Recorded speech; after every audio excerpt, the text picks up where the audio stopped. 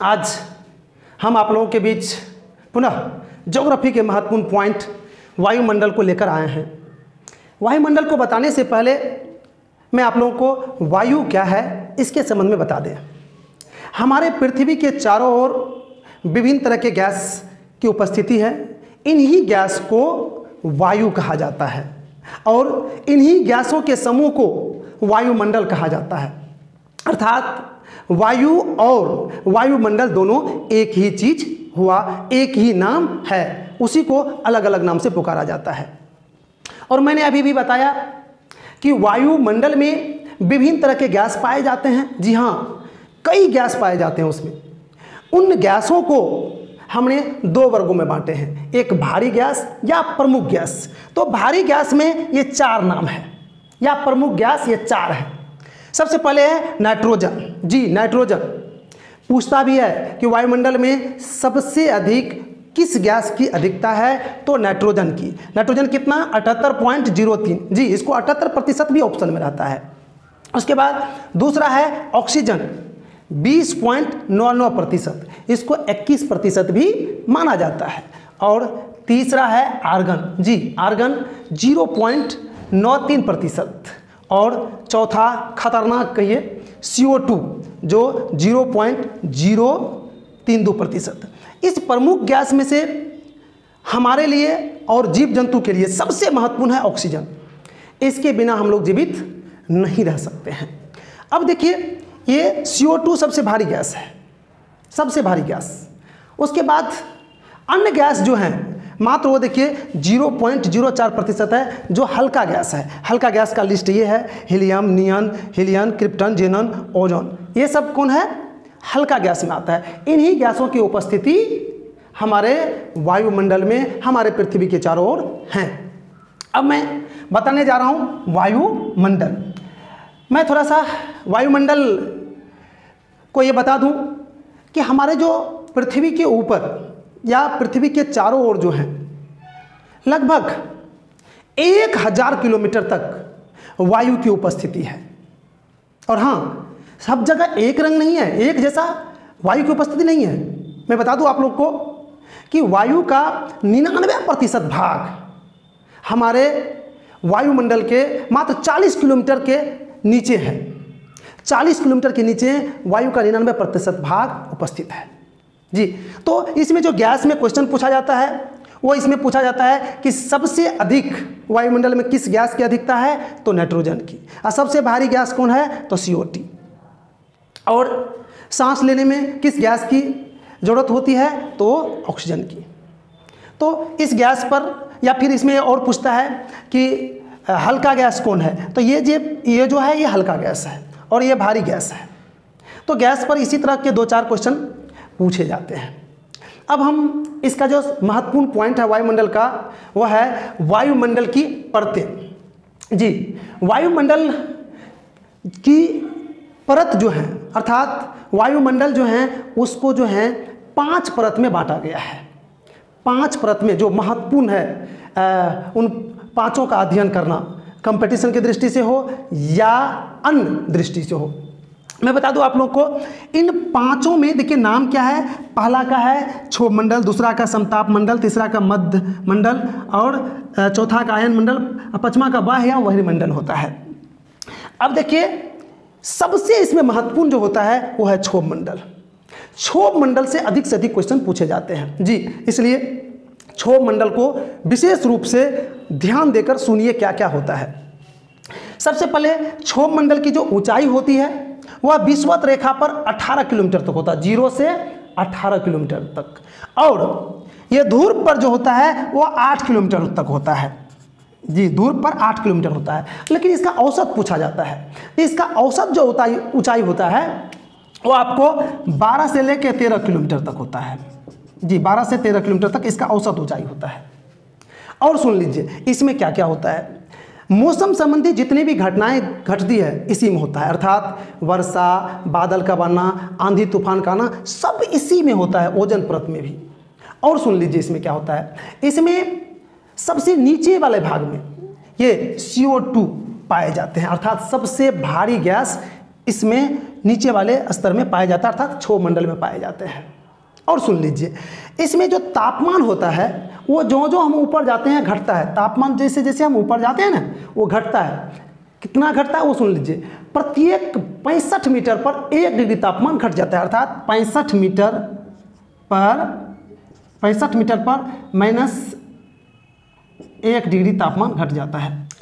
अब है क्वेश्चन कि तापमान क्यों घटता है? जी, ध्यान दीजिएगा क्यों घटता है तापमान, वो बता रहे हैं हम। देखिए, सबसे नीचे जो होते हैं, इसमें सी ओ टू पाया जाता है, अर्थात वो भारी गैस है, सब, सबसे नीचे सी ओ टू रहता है। और सी ओ टू की विशेषता सुन लीजिए। सी ओ टू में सूर्य प्रकाश में जो ऊर्जा पाया जाता है, उसको अवशोषित करने का, सोखने का क्षमता रहता है। अतः सूर्य प्रकाश से जो उष्मा रहता है, उसको ये अवशोषित करके यहाँ तापमान को बढ़ाता है। इसलिए सबसे नीचे जो है, ज़्यादा तापमान रहता है, क्योंकि यहाँ पर CO2 की उपस्थिति ज़्यादा है। जैसे जैसे हम ऊपर जाते हैं तो CO2 की मात्रा कम होती जाती है। इसलिए तापमान भी क्या होता है? घटते जाता है। अर्थात इसमें जैसे जैसे ऊपर जाएँगे तो तापमान कम होगा। एक चीज़ और बता दूँ आप लोगों को। ये CO2 जो है इसको ग्रीन हाउस गैस भी कहा जाता है। क्योंकि ग्लोबल वार्मिंग या भूमंडलीय तापमान जो बढ़ रहा है, इसका मुख्य कारण है CO2 का बढ़ना। इसलिए ग्रीन हाउस का सबसे प्रमुख गैस CO2 है। और उसके बाद आप लोग को एक चीज़ और बता देते हैं इस क्षोभ मंडल में।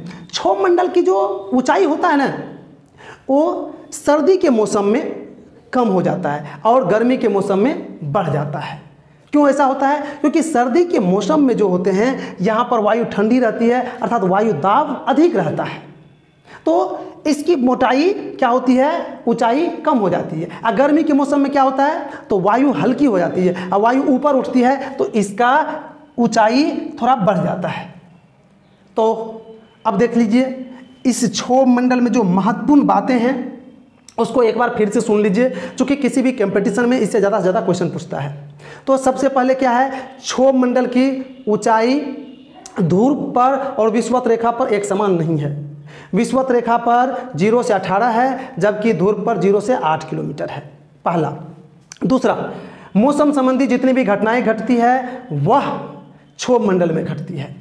तीसरा क्षोभ मंडल में हम ऊपर से, नीचे से जब ऊपर की ओर जाते हैं तो तापमान घटता है। और कितना तापमान घटता है? प्रत्येक पैंसठ मीटर पर एक डिग्री तापमान कम हो जाता है। और क्षोभ मंडल की एक और कि क्षोभ मंडल में सर्दी के मौसम में इसकी ऊंचाई कम हो जाती है और गर्मी के मौसम में इसकी ऊंचाई बढ़ जाती है। और एक और क्वेश्चन इससे पूछा जाता है कि क्षोभ मंडल की औसत ऊंचाई कितनी होती है? तो 12 से लेके 13 किलोमीटर तक। तो इस तरह से क्षोभ मंडल की जो महत्वपूर्ण पॉइंट था, जिस पर क्वेश्चन अधिक से अधिक पूछा जाता है, वो हमने बताया है। अब देखिए, दूसरा मंडल चलते हैं। समताप मंडल, जी। समताप मंडल से नाम से ही क्लियर होता है कि इसमें क्या होगा। समताप, अर्थात इसमें तापमान लगभग समान होता है। तापमान बढ़ता घटता नहीं है। जैसे इसमें घटता है, इसमें वैसा नहीं होता है। और इसमें सबसे महत्वपूर्ण एक और चीज़ याद रखना है कि इसमें मौसम संबंधी घटनाएँ नहीं घटती है। जबकि इसमें मौसम संबंधी घटनाएँ घट रही थी, लेकिन इसमें मौसम संबंधी घटनाएँ नहीं घटती है। और मौसम संबंधी जब घटनाएँ नहीं घटती है तो वायुयान के लिए, अर्थात हवाई जहाज़ के लिए, उड़ने के लिए यहाँ पर अनुकूल दशाएँ पाई जाती है। अतः वायुयान, अर्थात हवाई जहाज़ जो हैं, अधिकांशतः इसी में उड़ते हैं। और इसमें एक और महत्वपूर्ण चीज़ है जो आपको बता दें कि हमारे सूर्य की रोशनी जो होती है, सूर्य प्रकाश जो होती है, उसमें एक जहरीले किरण होते हैं, जिसको प्रावैग्निक किरण के नाम सुने होंगे। वह प्रावैग्निक किरण को रोकने वाला जो परत है, नाम सुने होंगे ओजन परत। ओजन परत इसी में पाया जाता है। इसमें 15 से लेकर 35 किलोमीटर की ऊंचाई तक इसमें ओजन परत है। और ओजन परत क्या करता है? सूर्य से निकलने वाले अति जहरीली किरण प्रावेग्निक किरण को अवशोषित कर लेता लेता है। ऐसा माना जाता है कि यह किरण अगर सीधी पृथ्वी पर पहुँच जाए तो एक भी जीव जंतु जीवित नहीं रह सकता है। अतः यह मंडल, अर्थात ओजन परत, हमारे लिए, हमारे जीव जंतु के लिए महत्वपूर्ण है। मैं एक चीज़ और बता दूँ आप लोग को, कि आप सुने होंगे कि ओजन परत में छिद्र हो रहा है, ओजन परत पतली हो रही है। जी हाँ क्यों पतली हो रही है, और सुन लीजिए। सी एफ़ सी गैस जो हम लोग उपयोग करते हैं, वह सी एफ़ सी गैस जब वहाँ पहुँच जाता है या यहाँ पर अधिक हो जाता है तो वहाँ पर ओजन परत के पास पहुँचता है सी एफ़ सी सी एफ़ सी तो ये क्या करता है? तो ओजोन परत से, ओजोन गैस से प्रतिक्रिया करके इसको निष्क्रिय कर देता है। और फिर जहाँ पर ये अधिकता रहती है जिस सीएफसी की तो वहाँ पर उसको पतला कर देता है, हॉल कर देता है। और आज सबसे बड़ी समस्या यही हो रहा है कि सीएफसी गैस का उपयोग कैसे कम किया जाए। अगर नहीं होगा सीएफसी गैस की उपयोगिता कम तो आने वाले दिन में ओजन परत बहुत पतली हो जाएगी और फिर सूर्य से जो आने वाली परावैग्निक किरणें हैं, जहरीली किरणें हैं, वह रुक नहीं पाएगा और सीधे पृथ्वी पर पहुंचेगा, जिससे काफ़ी हानि हो सकती है। तो समताप मंडल के जो महत्वपूर्ण पॉइंट हो गया, क्या हो गया? कि इसमें ओजोन परत पाए जाते हैं। इसमें वायुयान को उड़ने के लिए अनुकूल दशाएँ उपस्थित रहती है। तीसरा, मौसम संबंधी इसमें घटनाएँ नहीं घटती है। इस पर तीन ही क्वेश्चन मुख्य रूप से पूछा जाता है। और एक और क्वेश्चन पूछा जा सकता है इस पर कि इसमें तापमान क्या होता है? तो समान रहता है। तो चार क्वेश्चन इससे, चार क्वेश्चन से अधिक इससे नहीं पूछ सकता है। उसके बाद आ जाइए मध्यमंडल। जी, मध्यमंडल की ऊंचाई देख लीजिए। यहाँ पर विश्वत रेखा पर 50 से 80 किलोमीटर तक और यहाँ पर भी 50 से 80 किलोमीटर तक होता है।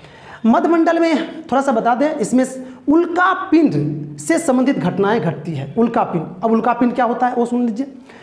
ब्रह्मांड में बहुत सारे पत्थर या अन्य कण पाए जाते हैं और वह अनियंत्रित होकर गिरते हैं। तो पृथ्वी की ओर जब आते हैं तो यहाँ पहुँचते ही वायु से घर्षित होकर उसमें आग लग जाता है और फिर वो जल जाते हैं। उसी को पुछल तारा भी कहते हैं हम लोग। तो इसमें इससे ज़्यादा क्वेश्चन नहीं पूछा जाता है। यही ज़्यादा से ज़्यादा इसकी ऊंचाई पूछा जाएगा और उल्का पिंड से संबंधित घटना कहाँ होती है? तो वो मध्यमंडल मध्यमंडल में होती है, उल्का पिंड। उल्का पिंड। मुख्य रूप से इसमें उल्का पिंड ही क्वेश्चन हो गया। उसके बाद हम लोग चलते हैं आयन मंडल। आयन मंडल की ऊंचाई कितनी होती है? 80 से लेके 640 किलोमीटर तक। जी 80 से लेके 640 किलोमीटर। और आयन मंडल की सबसे बड़ी विशेषता क्या होती है?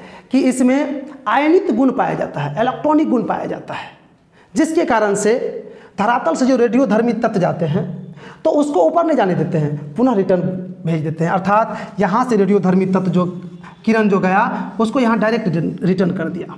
अगर यह आयन मंडल नहीं रहता तो रेडियो धर्मी किरण रिटर्न नहीं हो पाता, ऊपर चला जाता और फिर हम रेडियो नहीं सुन पाते या इस किरण से जो अन्य काम करते हैं, वो नहीं कर पाते। अर्थात, आयन मंडल से मुख्य रूप से एक क्वेश्चन पूछा जाता है। यही कि इसमें रेडियो सुनने वाले या रेडियो तरंग जो है, किस मंडल से परावर्तित होती है, किस मंडल से रिटर्न होती है तो आयन मंडल से होती है। अब नेक्स्ट चलते हैं हम लोग वायुमंडल, जो ऊपरी मंडल है। वैसे 640 किलोमीटर से ये शुरू होता है। इसकी अंत कहाँ है? ये अभी तक निश्चित नहीं हो पाया है। और इस मंडल से मुख्य रूप से ऊंचाई पूछा जाता है। हाँ एक चीज़ इसमें से रहता है कि इस मंडल में जो है, हल्के गैस की उपस्थिति रहती है। अर्थात ये जो हीलियन हाइड्रोजन है हीलियन है, ये सब जेनोन है, ये सब इसमें पाए जाते हैं। तो इसमें हल्के गैस रहते हैं। और एक चीज़ और बता दें कि जितने भी उपग्रह इत्यादि होते हैं, वह इसी मंडल में स्थापित किए जाते हैं। इसमें वायुमंडल तो वायुमंडल से क्वेश्चन नहीं, ज़्यादा पूछा जाता है।